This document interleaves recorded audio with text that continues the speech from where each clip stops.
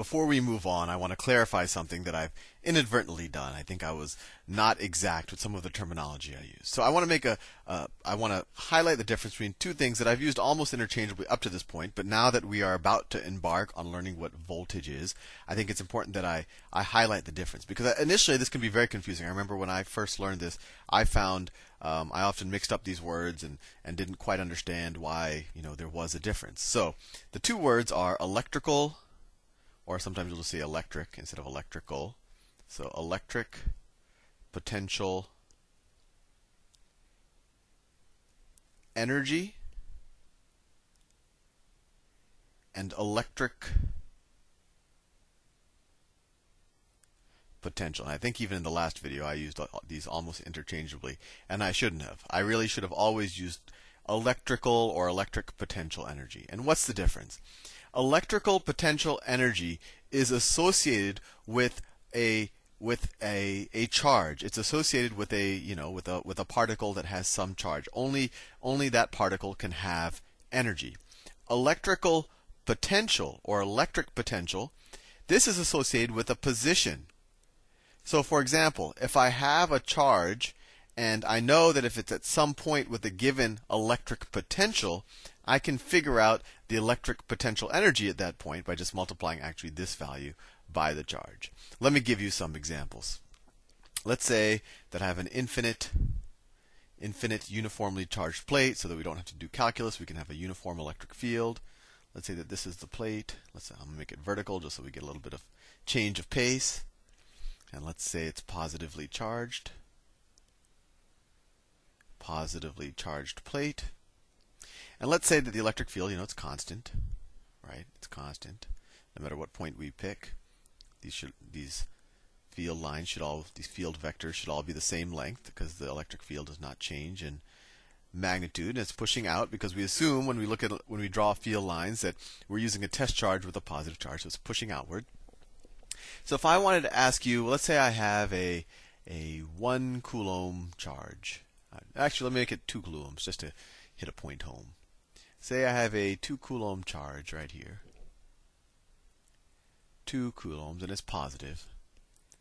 A positive 2 coulomb charge, and it starts off, I don't know, let's say it starts off at 3 meters away, and I want to bring it in 2 meters.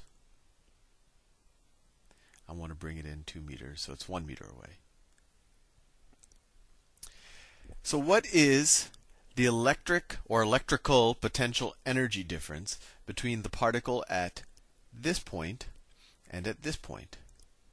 Well, the electrical potential energy difference is the amount of work, we, need, as we've learned in the previous two videos, is the amount of work we need to apply to this particle to take it from here to here. So how much work do we have to apply?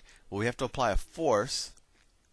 We have to apply a force that directly that exactly let's you know we, we assume that maybe this is already moving with a constant velocity or maybe we have to start with a slightly higher force just to get it moving. But we have to apply a force that's exactly opposite the um, the electric the the force provided by this uh, by Coulomb's law right? The electrostatic force. And so what is that that force we're going to have to apply? Well we actually have to know what the electric field is which I have not told you yet. I just realized as you can tell sometimes so let's say all of these electric field lines I don't know, let's say they are 3 newtons per coulomb. So, at any point, what is the force being exerted from this field onto this particle? Well, the force from the electrostatic force on this particle is equal to the electric field times the charge times the charge, which is equal to I just defined the electric field as being 3 newtons per coulomb, sorry, 3 newtons per coulomb, times 2 coulombs, it equals 6 newtons. So at any point, the electric field is pushing this way, 6 newtons. So in order to push the particle this way, I have to completely offset that, and uh, and I actually have to get it moving initially. I know I keep saying that. I just want to make that point, hit that point home. So I have to apply a force of 6 newtons in the leftward direction, and have to apply it for 2 meters to get the point here. So the total work is equal to 6 newtons times 2 meters, which is equal to 12 newton meters or 12 joules. So, we could say that the electrical potential energy energy and energy is always joules. The electrical potential energy difference between this point and this point is 12 joules. Or another way to say it is this and, and which one has a higher potential? Well this one does right? Because at this point we're closer to the thing that's trying to repel it. So if we were to just let go, it would start accelerating in this direction and have and and a lot of that energy would be converted to kinetic energy by we get to this point, right? So we could also say that the electric potential energy at this point right here is 12 joules higher than the electric potential energy at this point. Now that's potential energy. What is electric potential? Well, electric potential tells us essentially how much work is necessary per unit of charge, right? This was electric potential energy was just how much total work is needed to move it from here to here.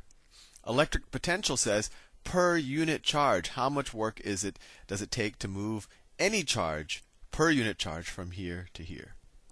Well, in our example we just did, the total work to move it from here to here was 12 joules. But how much work what did did it take to move it from there to there per charge? Well, work per charge is equal to 12 joules per what? What was the uh, what was the charge that we moved? Well, it was 2 coulombs? Well, it equals 6 joules per coulomb. That is the electric potential the electric potential difference between this point and this point. So it what's the distinction? Electric potential energy was associated with a particle. How much energy, how much more energy did the particle have here than here? When we say electric potential, because we essentially divide by the size of the particle, it essentially is independent of the size of the particle. It actually just depends on our position. So electric potential, we're just saying how much how much more potential, irrespective of the charge we're using, does this position have relative to this position? And this electric potential, that's just another way of saying voltage. Voltage. And the unit for volt or for voltage is volts. So 6 joules per, per coulomb, that's the same thing as 6 volts.